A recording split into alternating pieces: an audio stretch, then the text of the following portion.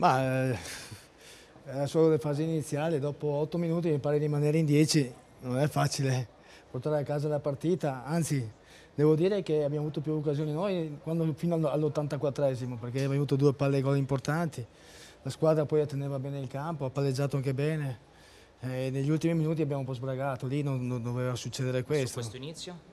Ma l'inizio un po' titubante, forse eh, l'indecisione tra uno e l'altra, due ammonizioni subito, anche lì a noi ammonito subito, loro non li ammoniva mai. Sul rigore è discutibile perché vorrei rivederlo anche quello. Ma, insomma è andata, ci è girato tutto all'incontrario, nel senso che eh, non è andata una dritta da questo punto di vista. Perciò sono molto rammaricato perché la squadra secondo me ha dato tutto quello che poteva dare, eh, anzi nel secondo tempo mi ha fatto anche bene. Purtroppo abbiamo perso, però bisogna saper voltare pagina e andare avanti, pensare alla prossima.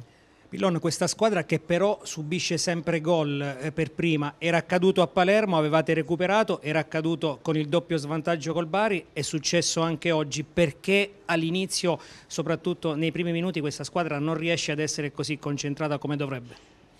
Eh, non so se è l'ansia della partita, se è un po' timorosa, perché sta di fatto che le partenze sono sempre un po', un po sofferte, perciò dovremmo analizzare anche questo vedere come mai succedono queste cose qui.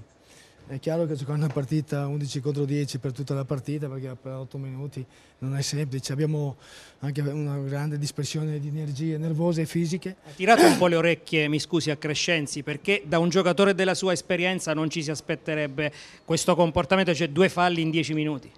Ma io dopo la partita non, non parlo mai con i, con i, giocatori perché magari quando si è caldi preferisco parlare il giorno dopo, perciò non gli ho detto niente oggi ma avremo modo di parlare assieme nei prossimi giorni. Nel secondo tempo, nonostante l'inferiorità, avevate preso anche un po' in mano la situazione. Poi Raicevic, doppio attaccante centrale, la Provercelli ha cercato anche di gettare la palla in area di rigore. Lì la forza fisica si è fatta sentire della Provercelli, ha ritrovato nuove energie, d'accordo? Sì, è vero, eh, forse noi ci siamo abbassati un po' troppo, ma normal, cioè, era l'84esimo, eravamo anche un po' stanchi perché abbiamo corso tutta la partita, non riusciamo più a alzarci e lì abbiamo beccato il gol.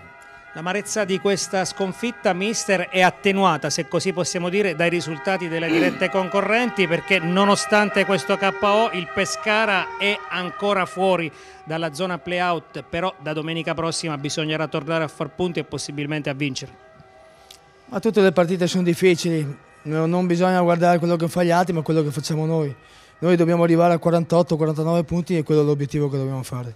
Oggi ha mandato in campo dal primo minuto sia Machine che Falco perché li aveva visti molto bene in settimana, già la scorsa settimana aveva parlato di dubbi, io direi che hanno risposto molto bene, d'accordo? Sì, sì, hanno fatto tutti e due un'ottima partita, quello che avevo visto nell'allenamento può essere verificato, che stavano molto bene ed erano in condizione qualche errore di troppo oggi in difesa, eh, sempre antipatico parlare dei singoli, lo dicevamo prima, però eh, in mezzo all'area di rigore qualcosa non è andato, anche in occasione mi è sembrato del secondo gol della Provercelli.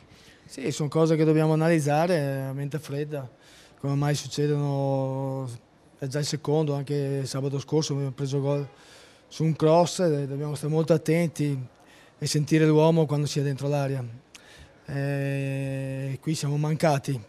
Probabilmente se passavamo quei due o tre minuti potevamo portare a casa il risultato. Così non è stato, ma bisogna guardare avanti. Io le chiedo un'ultima cosa da parte mia. La partita di Palermo, la partita di oggi, se le andiamo a guardare un po' a specchio, io a Palermo avevo visto un Pescara forse anche mentalmente più dentro la partita, perché io voglio ancora sottolineare questo approccio dove la Provercelli vi ha messo in difficoltà. Sì, sono partiti a razzo, lo sapevamo, dovevamo essere più, più convinti, più determinati e abbiamo sofferto i, loro, i primi 6, 7, 8 minuti. E poi l'espulsione ha aggravato ancora di più questa situazione. Un peccato perché la squadra ha giocato la sua partita, ha fatto quello che doveva fare, alla fine forse dovevamo stare, non dovevamo sbragare meno, nel senso che dovevamo essere più, più compatti per stare dentro la partita fino alla fine. Sette gare al termine, Pillon, domenica c'è lo Spezia allo Stadio Adriatico, poi tutti scontri diretti, eccezione fatta per l'ultima gara di Venezia. È preoccupato un po' per il fatto che eh, la sua squadra non ha nelle corde proprio quella eh, car caratteristica di lottare come squadre come per esempio Ascoli e Cesena che forse sono più abituate a navigare nelle zone basse della classifica? Ma non direi che non dobbiamo, oggi abbiamo lottato, abbiamo lottato fino alla fine. Questo non posso dire niente ai giocatori. Sul piano nervoso la squadra ha reagito bene in queste partite. Però mentalmente forse il Pescara è meno preparato di altre squadre. Eh, ma dobbiamo abituarci, siamo lì e dobbiamo tirarci fuori. Perciò non dobbiamo essere preoccupati di niente perché preoccupazioni ce l'ha chi va in ospedale, non noi. L'ultima da parte mia, se ci può dire come sta Coda. E Coda vediamo in settimana se riusciamo a recuperarlo. Perfetto. Grazie, grazie. al tecnico del Pescara.